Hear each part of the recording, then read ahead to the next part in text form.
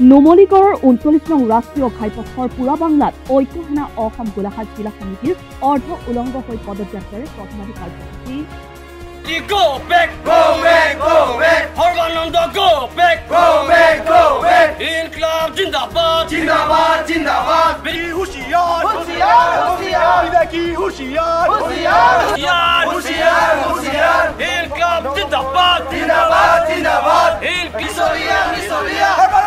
নুমলীগড়ৰ পৰা গোলাঘাট নগৰলৈকে এই পদযাত্ৰা কৰিব সংগঠনটোৱে।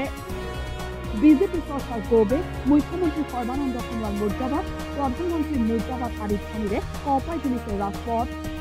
নাগৰিকত্ব সংশোধনী বিধেয়ক প্ৰতিকাৰ বাতিলৰ দাবীত এই পদযাত্ৰা ঐক্যসেনা অসমৰ। উল্লেখ্য যে নাগৰিকত্ব সংশোধনী বিধেয়ক গৃহীত হলে ঐক্য সেনা অসমৰ শ শ সদস্যই আলফাত যোগদান কৰাৰ সংকাৰ প্ৰদান কৰিছে। অসমৰ লজ্জাজনক দিন কালি পাৰ হৈ গৈছে। যিহেতু অসমৰ মুখ্যমন্ত্ৰী এজন অসমীয়া হিচাপে আমি গৌৰৱ কৰিছিলোঁ। তেওঁ এজন জাতীয় নায়ক আছিল। কিন্তু আজি আমি দুখ প্ৰকাশ কৰিছোঁ। তেওঁ এজন খলনায়কত পৰিণত হ'ল। আজি আমি এইটো কাৰণে দুখ প্ৰকাশ কৰিছোঁ।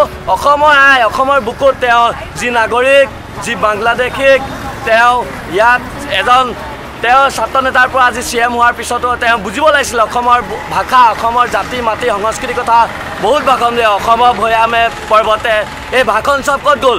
আজি আপুনি যদি প্ৰকৃত অসমীয়া হয় কিন্তু বিদেশী বাংলাদেশী আনি পেলাই ইয়াত সংস্থাপন দিব নালাগিছিল। আজি আমি বুকুত হত হাহকে আজি আমি বুকুত দাঁত তৈ ক'ব পাৰোঁ যে আপুনি আজি কি কাম কৰিলে অসমৰ ৰাইজৰ স্বাৰ্থত। কিন্তু গাদীৰ কাৰণে যি কৰিলে আজি অসমৰ ৰাইজৰ স্বাৰ্থত কিন্তু সেইটো নকৰিলে।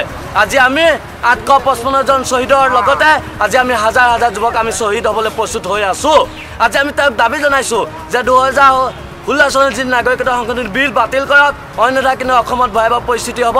এই পৰিস্থিতি দায়ী অকল সৰ্বানন্দ হ'লে নহয় আজি মাকি তেওঁ মিছলীয়া হিমন্ত বিশ্ব শৰ্মা ইয়াত দায়ী আছে অসমত যিমানখিনি চেলেকা কুকুৰ যিমানখিনি জাতীয় জাতীয়তাবোধ সংগঠন কৰা সেই নায়কখিনিকো মই আহ্বান জনাইছোঁ আপোনালোক প্ৰকৃত অসমীয়া নহয় যদি প্ৰকৃত অসমীয়া হোৱাহেঁতেন আজি সেই গাদী বাদ দি পেলাই অসমৰ ৰাইজক থিয় দিলে হয় আজি ক'ত গ'ল আজি আপোনালোকৰ জাতীয়তাবাদী আজি ক'ত গ'ল আপোনালোকৰ অসমৰ অসমীয়া ৰাইজৰ স্বাৰ্থত ভাষণ ক'ত গ'ল আপোনালোকৰ আন্দোলনখিনি আজি সেই পৰা আপোনালোক বিৰত আছে আমি ধিক্কাৰ জনাইছোঁ এনেকুৱা নেতা আৰু পালি নেতাখিনিক যে আপোনালোকে অসমীয়া ৰাইজক গংগাত পেলাই আপোনালোকে ক'ত আছে? আজি সেইকাৰণে আজি আমি গোলাঘাট জিলাৰ সেইকাৰণে আহ্বান জনাইছোঁ।